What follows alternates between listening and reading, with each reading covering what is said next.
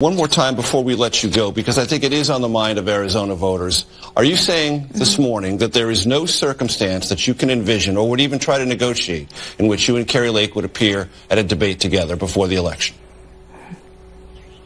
At this point in the race, with 30 days to go, uh, our schedule in terms of, of forums uh, is pretty much set, and and I'm really happy with where we are in uh, the plans we have to continue talking directly to the voters of Arizona.